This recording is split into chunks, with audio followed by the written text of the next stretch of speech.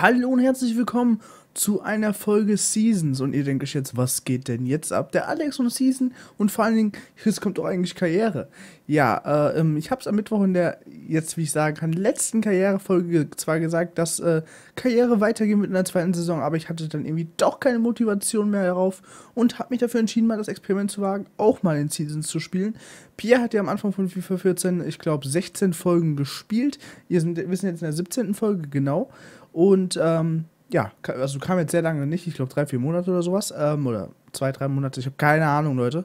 Und ähm, ja, jetzt mache ich das Ganze und ja, ihr dürft euch, ist jetzt quasi jetzt eins zu eins ähm, Karriere. Es wird auch live jetzt gespielt hier, wie ihr seht, ich suche mir jetzt live einen Gegner und werde live spielen. Es wird keine, ähm, kein nachkommentiertes wie Ultimate Team, da ich nur ein, äh, da ich ja natürlich Koop Season mit Pierre nachkommentiere und ähm, ja, halt noch äh, ähm, Ultimate Team auch weiterhin habe mit, mit, mit Nachkommentieren und ich möchte ein Live-Format haben. Und das nehme ich jetzt mir hier einfach. Äh, ich muss mich zwar konzentrieren, weil es jetzt wieder gegen Online-Gegner geht, aber ich hoffe, dass ich auf jeden Fall, ähm, ja, dass wir das hinkriegen. Und ja, hoffe, das wird eine coole Sache. Wie gesagt, äh, ab jetzt dann halt immer mittwochs und samstags. Und ich finde wieder keine Gegner, das ist schon super. Die Probleme hatte damals auch Pierre. Wir werden mal sehen, ob, ob das hier dann öfter vorkommt. Ich spiele jetzt auch gerade um 3.07 Uhr in der Nacht übrigens. Äh, ich habe bis vor einer Stunde noch mit Pierre so ein bisschen Koop-Season-Gameplays aufgenommen. Da sind wir auch schon bis Ende April oder so, haben wir schon Gameplays. Also nachkommentieren machen wir immer, äh, immer irgendwie so Samstag, also Freitag oder Samstagabend oder jetzt in dem Fall machen wir das dann äh, Samstagmittag.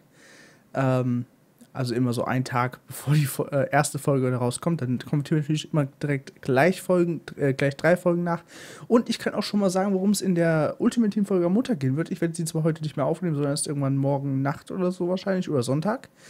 Aber ich werde ein bisschen über Nutopia reden. Das ist ja so ein, äh, ja, äh, auch wieder ein sehr Big Brother-ähnliches Projekt, aber hat ein ganz anderes, ist eigentlich gar nicht ähnlich, ist halt ein, äh, ein Reality-Format und ich liebe Reality-Formate eben, weil es keine gescriptete Scheiße ist und weil es, wie ich finde, auch relativ gut mit einem, ähm, mit einem Dings, mit einem, ähm,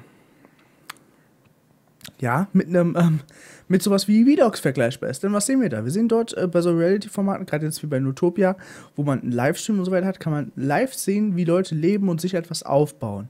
Und dieses Live-Sehen, wie Leute leben, ist ja etwas, was wir auch zum Beispiel an Vlogs genießen. Äh, an Vlogs lieben wir, wir ja zum Beispiel von denen oder sowas, oder gucke ich zum Beispiel von denen an ungespielte Vlogs. Da finden wir es ja auch cool, dass wir Leute sehen, die uns an ihrem Leben teilhaben. Und was ist ein, was ist ein Big Brother? Was ist ein Dschungel, okay, Dschungelcamp nicht ganz, das passt nicht ganz in die Kategorie. Aber was ist vor allen Dingen ein Big Brother und was ist jetzt eher ein Utopia, wo auch 24 Stunden sieben Livestreams haben? Genau das sind sie. Sie sind wie ein Vlog in einer noch extremeren Form, weil man sieht einfach durch einen Livestream alles. Ähm, wenn man zum Beispiel so, so eine Sache wie Utopia nur im nur normal verfolgt, also normal die Zusammenfassung, dann ist es sogar sehr, sehr, sehr gut mit einem Vlog zu vergleichen. Ähm, ja, wie ihr seht, wir haben absolute Connection-Probleme. Aber wie gesagt, dieses Utopia-Thema will ich gar nicht weiter ausführen. Ich wollte nur mal ein paar Hinweise geben und ihr wisst ja eh, dass ich solche Real-Life, richtigen Reality-Shows und nicht die scripteten übertrieben mag. Ähm, allerdings, wie ihr gerade merkt, äh, finden wir irgendwie keine Gegner. Das ist halt auch Pierre öfter mal das Problem. Deswegen würde ich mal sagen, machen wir hier einen kleinen Cut und es geht dann weiter, wenn eben ich einen Gegner gefunden habe, was hoffentlich bald passieren wird. Also, hallo rein, bis gleich. Ja, Leute, dann sind wir zurück und äh, hat jetzt doch noch ein bisschen gedauert, ist noch einmal abgebrochen, aber jetzt scheint es auch mal so zu klappen. Längen tut es auch nicht und ja, dauert, dauert anscheinend e nur Ewigkeit, bis man einen vernünftigen Gegner findet wo dann es keine Connection-Probleme gibt oder irgendwelche NAT-Probleme der Gegner hat. Aber das ist mir egal, solange es im Endeffekt dann funktioniert und geht, ist mir das relativ wurscht. Und solange es jetzt hier nicht direkt anfängt, wieder zu rückeln, ist das ja noch besser. Und wenn ich es hinkriege, ein bisschen hier was zu reißen sogar, dann ist es ja noch besser. Ja gut, das war jetzt nicht so wirklich gerissen, aber egal. Naja, aber auf jeden Fall nochmal, äh, ich hatte ja wie gesagt den Anfang gedreht und habe dann mal einen kleinen Cut gemacht, bis es jetzt geht. Und dann natürlich nochmal, ähm, ja, nochmal quasi willkommen hier in Seasons mit mir. Ich bin natürlich in Liga 10, habe noch kein, äh, noch kein einziges Spiel gemacht.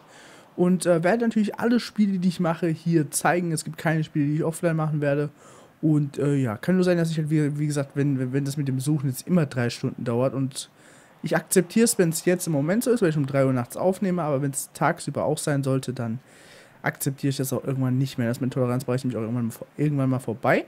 Wir spielen gegen FC Bayern. Wir sind spielen natürlich auch selbst mit FC Bayern, aber mit einer sehr offensiven Aufstellung. 4-3-3 natürlich, standardmäßig, wie es gewohnt ist bei mir. Und da ist mein 1 0. Hammer nice. Da macht Neu so einen Riesenfehler und ich mache das Tor. Hammer nice.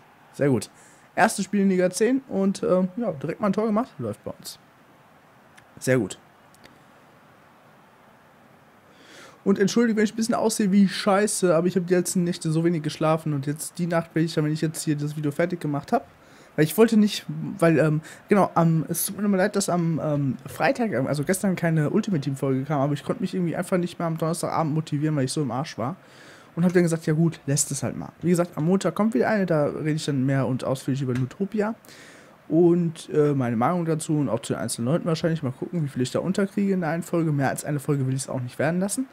Und ähm, ja, da geht es halt, wie gesagt, ganz normal weiter. Und ich wollte jetzt heute nicht den zweiten Tag in Folge kein FIFA-Video bringen äh, und das ohne irgendeine Ansage. Und deswegen habe ich mir halt gedacht, yo, Season, probierst du mal und dann machst du aber auch noch direkt ein Video für, ähm, ja, für, also jetzt he heute Nacht für heute eben. Sache ist halt, ich musste das dann noch direkt, jetzt wenn ich es aufgenommen habe, schneiden und noch die anderen Videos für morgen kurz fertig machen, weil ich dann morgen so aufstehe, dass ich nur noch den Upload der Videos starten muss und weil ich auch morgen so aufstehe, dass ich dann fast, fast direkt ähm, also beziehungsweise für euch ist ja heute. Also für mich ist es auch heute, aber ich gehe noch von morgen aus. Ähm, für mich ist nämlich die Sache, dass ich die Videos noch äh, dann auch noch fertig schneiden werde. Und dann, dann erst pennen gehen, also rendern starten und dann pennen gehe. Denn morgen haben wir wieder ein bisschen was an Aufnahmen, also eigentlich relativ cool. Wir haben halt wieder Koop-Season, ne? Nachkommentieren, was machen wir da morgen. Und das machen wir dann morgen schon so um 15 Uhr, weil Bayern hat schon heute gespielt und ähm, ja, deswegen haben, also hat schon am Freitagabend gespielt. Deswegen haben wir gestern äh, deswegen haben wir, nehmen wir Corp Season jetzt erst heute auf und so um 15, 16, äh, 15 Uhr, glaube ich. Äh, ja, wir haben uns auf 15 Uhr geeinigt, genau. Und bis dahin, dann, bis dahin stehe ich dann halt eben auf. Aber es ist alles ganz schön fresh, wenn ich jetzt äh, bis 5 Uhr ins Bett komme, was ich hoffe, was auch sehr realistisch ist. Und ja, nehme ich jetzt natürlich nur die eine Folge Seasons auf, werde dann aber nochmal morgen oder so aufnehmen. Morgen Nacht oder so mal schauen, äh, werde auf jeden Fall zu 10 Stunden Schlaf kommen, was mir wichtig ist, weil ansonsten ähm, zieht sich der Schlafmangel noch von der ganzen Woche hinterher und so weiter und so fort. Und das muss ja auch nicht sein. So. Ja, gut. Also, ich habe ja das 1 zu 0 gemacht, aber der Gegner wird jetzt hier langsam Tick für Tick äh, besser und das passt mir nicht. Was ich noch zu sagen wollte, übrigens zu, dadurch, dazu, dass ich jetzt ein Gegentor kassiere, nee, was ich sagen wollte dazu, dass äh, jetzt ähm, wegen Samstag, wie gesagt, wir nehmen, also wegen heute für euch, wir nehmen heute auch noch wieder TTT auf. Die Folgen sind ja allerdings erst ab dem. Ah, so weit voraus sind wir gar Also drei Wochen, glaube ich, sind wir voraus. Ja, gut, tut der Alex einfach mal Sinus X. Ja, gut, das tut er. Sowas sollte ich mir dringend sparen. So. Und ja, wie gesagt, dann nehmen wir morgen auf. Habe ich auch extrem Bock drauf. Werde noch, äh, noch eine kleine andere Sache. Die Folgen, die, die aus letzten Aufnahmesession sind, die laufen jetzt seit einer Woche. Und ich werde noch eine kleine andere Sache äh, implementieren auf dem Server. Und ähm, zwar die Krablin Hook, aber wie gesagt, die Folgen seht ihr erst ab, ich glaube, dem 21. März oder so. Aber es geht ja noch. Ui, wir sind auch wahrscheinlich nur fünf, also ab dann, an dem Tag sind wir, also wie gesagt, heute für euch geht es am 21.03. ungefähr die Folgen los. Ich weiß jetzt nicht genau, ob, der, ob es der 21.03. ist, den habe ich nur im Hinterkopf. Und da geht es dann halt, wie gesagt, äh, nur mit fünf Leuten leider auch. Aber ja, wir sind überhaupt froh, dass wir die fünf Leute zusammengekriegt haben. Äh, und zwar wird es äh, mit dabei sein, ich, der Pierre natürlich. Und ganz wichtig, ab den Folgen werden wir so Schnitte hin und her machen. Das heißt, wir werden, äh, ich werde, wir werden nicht mehr entweder Pierre oder ich aufnehmen, sondern wir werden beide aufnehmen und ich werde die Ansicht nehmen, die dann besser ist. Das heißt, die, wo jemand Traitor ist. Denn die Traitor-Ansicht ist natürlich immer ein Tick spannender als wie die Innocent-Ansicht. Und das heißt, ihr kriegt immer der, der von uns beiden Traitor ist. Natürlich, wenn natürlich keiner von uns beiden Traitor ist, dann, ähm, läuft das Ganze anders. Äh, wenn natürlich keiner von uns beiden Traitor ist, dann wird halt eine von beiden Sichten genommen und wenn halt einer von, äh, ja, beide von uns, ja, wie gesagt, ihr könnt es euch ja selbst zusammendichten. Wenn beide von uns Traitor sind, dann wird eben eine Traitor-Sicht genommen, äh, durch, also immer, dann ist halt entweder Pierre oder ich, den man sieht, wo man die äh, auf äh, wo man die, wo man die Aufnahme von sieht, oder es ist halt eben, wenn halt eben beide Innocent sind, ist auch von beiden und wenn nicht, ist es halt von dem, der Traitor ist. Äh, und ich werde es dann halt auch so schneiden, dass wenn jemand stirbt, heißt, äh, das ist quasi ja pro Runde dann im Endeffekt. Also pro, äh, nicht pro Folge, sondern pro Runde halt eben. Und das heißt, ähm, es wird dann ein paar Mal, es wird dann schon deutlicher mehr Schnittaufwand, aber ich habe da auch Bock drauf, weil es mit Abstand, äh, also nicht mit Abstand, aber ich finde es ist so das coolste Projekt eigentlich, TTT. Auch wahrscheinlich durch die Seltenheit der Aufnahmen. Die machen schon irgendwie das, dass es äh, nicht so schnell ausgelutscht ist, muss man irgendwie sagen.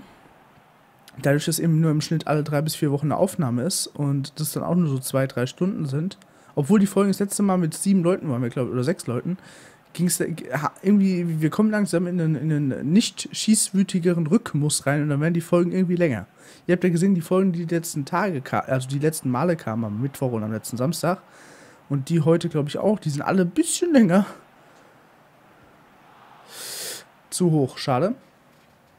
Und ja, da tut es mir da ist es, wie gesagt, so, dass wir mal jetzt alles mal schauen werden. Wie gesagt, bei TTT, äh, darauf will ich ja gar nicht hinaus, wird es dann halt so sein, dass ich da immer hin und her schneide und äh, auch wenn jemand stirbt, zum Beispiel von uns beiden, in der Runde, dann äh, wechsle ich natürlich in dem Moment die Ansicht auf den anderen. Das heißt, ihr seht die, die Spectator-Sicht seht ihr nur, wenn wir beide gestorben sein sollten.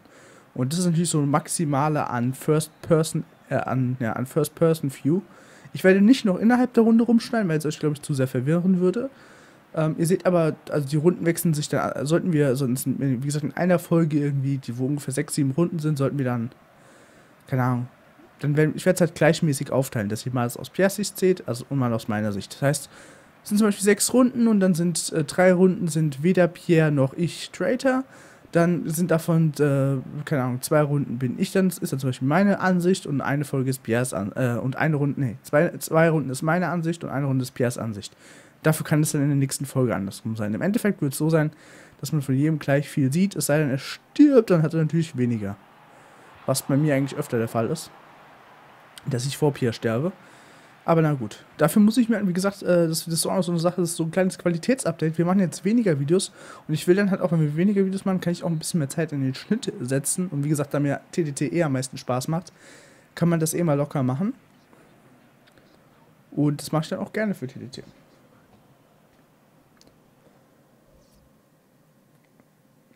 Erstmal auch schön Coca-Cola-Glas äh, Wasser trinken.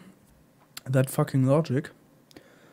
Und ja, wie gesagt, zu TDT eben das. Äh, ähm, ja, ihr dürft erst wissen, natürlich ist das erst ab dem. Ich gucke jetzt wirklich mal nach, weil ich will nicht scheiß die ganze Zeit labern. Während gerade noch Halbzeit ist. Ja, gut, das habe ich auf einem anderen PC offen. Übrigens, durch das angesprochen, irgendwann in einer der letzten Folgen habe ich Syn wie heißt die Scheiß-Software nochmal? Synergy angesprochen, das ist die Software, die ich hierfür nutze. Dass ich auch bei mehreren PCs dieselbe Maus und Tastatur verwenden kann. Und ich wollte jetzt wegen TTT nachgucken. Die, die Folgen, die wir heute ab, aufnehmen, sind ab dem 21.03., so wie ich es mir gedacht habe. Okay. Und Multitasking funktioniert bei mir auch wunderbar.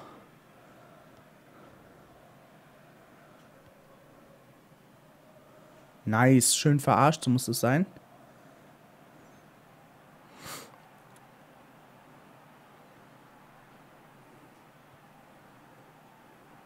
Ah, schade. Gut, jetzt mache ich erstmal hier drüben wieder diese, meine eigene Ansicht auf groß. Nicht, weil ich mich so gerne sehe, sondern weil ich gucken muss, dass ich auch vernünftig sitze. So, danke. Ja gut, das war ein bisschen knapp. Aber ich würde hier eigentlich schon noch gerne 2-0 machen, aber es sieht gerade auch nicht so gut aus. Ich wir haben jetzt nochmal wieder viel geredet, was ich eigentlich hier weniger will, also weniger äh, ja, über solche Sachen reden. Aber gab halt ein paar Sachen anzusprechen jetzt die Folge. Und es wird dann ab der nächsten Woche auch wahrscheinlich wieder kontrollierter vonstatten gehen. Wie gesagt, jetzt nehme ich auch nur gerade diese eine Folge auf und werde dann irgendwie mich morgen noch mal ein bisschen mehr dran setzen. Und auch mal gucken. Natürlich, wenn man verliert, ist die Motivation wieder down. Und äh, da ist jetzt wieder so ein Format, wo ich alles zeige und nicht irgendwie nur Gameplays aufnehme und dann die Scheiße sind lösche. Seht ihr auch wirklich alles. Das heißt, wenn ich auch verliere, seht ihr das und ja. Ihr seht einfach jedes Spiel, was dann kommt in Seasons, äh, bis ich keinen Bock mehr habe. Weil dass ich in Liga 1 komme, bezweifle ich mal sehr stark. Und zwar sehr, sehr stark. Und dass ich in Liga 2 komme, eigentlich auch. Liga 3, 4, eventuell. Aber irgendwann werde ich auch einfach nur noch verlieren und dann habe ich auch keinen Bock mehr. Von daher, wir handhaben es wirklich in letzter Zeit oft, wenn man auf was keinen Bock mehr hat, dann macht hört man halt auf. Und das ist, finde ich, eine coole Sache. Im Falle von Dying Light war es halt jetzt die Sache, dass, äh, dass wir da wirklich ja alles auch an Videos gelöscht haben. Man sieht nur noch anhand der Endcards von anderen Videos, dass es das überhaupt gab. Selbst der Kanalbanner ist ja jetzt geupdatet. Allerdings ohne Uhrzeiten drin, weil ich meinen Design aktuell nicht erreiche. Und ich noch eine Version hatte ohne irgendwelche Uhrzeiten drin. Und dann habe ich einfach gesagt, nimm die. Äh, habe ich mir einfach gedacht, lade ich die hoch. Bevor die ganze Zeit da Sachen drin, äh, bevor die ganze Zeit, äh, ja, die Version, die hochgeladen ist, inaktuell ist. Ja gut, das habe ich nicht gepasst. Das war nicht so geil. Oh, oh, das war doch geil. Ah ja, hält er mal locker, easy. Wie gesagt, ich darf jetzt hier auf gar keinen Fall irgendwas kassieren. Das wäre absolut scheiße. Ja, weißt du, der holt den aus dem Abseits raus und der andere, der Stuhl fängt schon wieder an zu quietschen. Geil, ey. Ich müsste mir eigentlich mal für meine Gesundheit so einen Scheiß, die sollen ja übertrieben und nicht nur überteuert sein, wie man, also manche haben ja so eine Meinung, oh, das ist voll die Markenscheiße, voll überteuert. Also ich rede von X-Racer Bürostühlen oder Gaming, ja geil. Oder Gaming-Stühlen, äh, so ein DX-Racer-Stuhl, die kosten 250 Euro, würde ich mir eigentlich gerne mal, vielleicht sollte ich mir, mich mal ein bisschen mehr darüber informieren. Und mir den, Alter, ja, und mir den vielleicht holen. Ja, Leute, jetzt ist leider gerade mein, äh, wie ihr es gehört habt, mein Funkempfänger, den ich mir auch gegönnt habe vor ein paar Wochen, runtergefallen, weil ich den direkt auf dem Schreibtisch hatte. Weil der irgendwie manchmal in Kombination mit dem Mikrofon, wenn ich das irgendwie, äh, wenn ich den nicht hier auf dem Tisch liegen habe, sondern eben im, in meiner Tasche drin, manchmal ein bisschen Scheiße produziert. Und das will ich auch nicht. So. Nochmal rüber. Komm, Alter, Willy. Ach komm, da holt er sich den Ball von. Ja, das ist jetzt. Nee, ohne Scheiß. Er hat jetzt eben gerade das Tor gemacht, das reicht aber jetzt auch. Ich will jetzt hier nicht abgeschlachtet werden von dem oder auch. Eigentlich will ich gewinnen, Mann. Das ist das erste Spiel. Hallo, wie lächerlich kann man sich machen schon wieder? Das habe ich schon im Ultimate Team damals gemacht.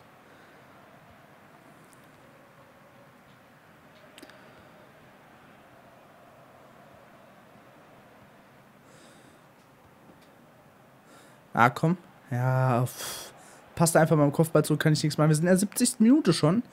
Ich muss ein Gas geben. Ich werde es mal so machen. Also nicht 100% offe, also nicht volle Attacke, sondern, oh ja, komm, dass so eine scheiße Foul gibt, wusste ich.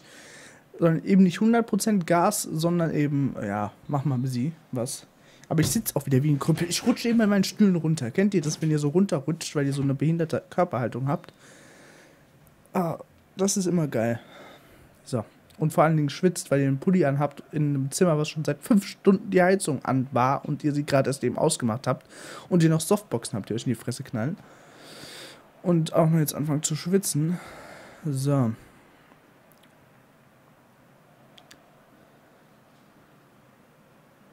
Jo, wahrscheinlich kriegt er den Ball nicht, ist klar.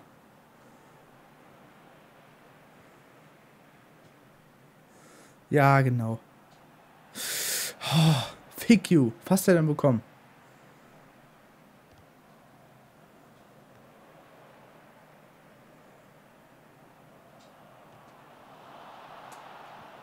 Ja, juckt ihn nicht genau. Der Torwart holt ihn sich aus der Pussy noch, ist klar.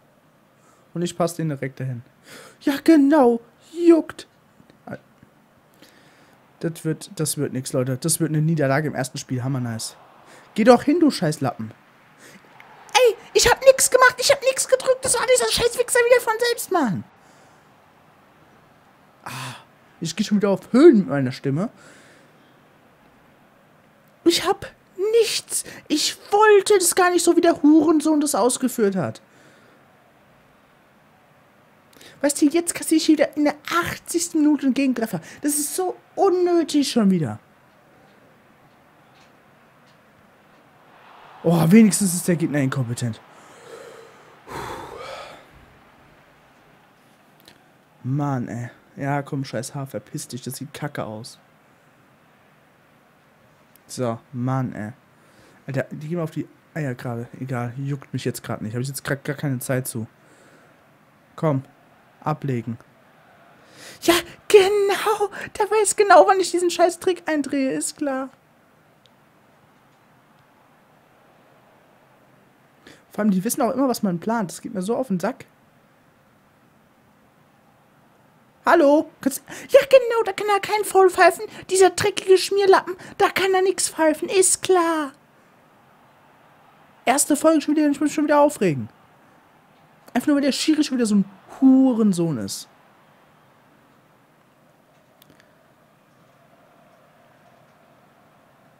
Ja, komm. Was, da rennt das selbst im ins Aus. Wie dumm kann man sein? Dann lass doch einfach deine Dreckspfoten weg.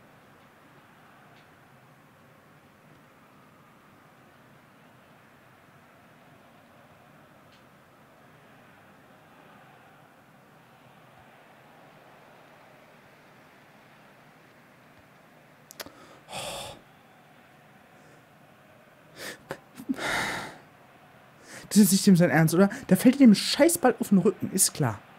Und ich passe hier raus und er kommt direkt wieder irgendwo an. Ich muss doch solche scheiß Notpässe machen, weil meine Spieler einfach zu inkompetent sind, normal zu passen. Fick dich! Ich habe keine Chance bei so einer Scheiße. Was soll ich da machen, ne?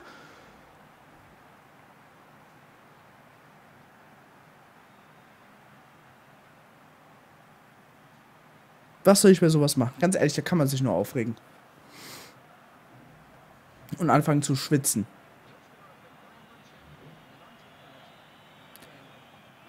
Lauf. Lauf jetzt.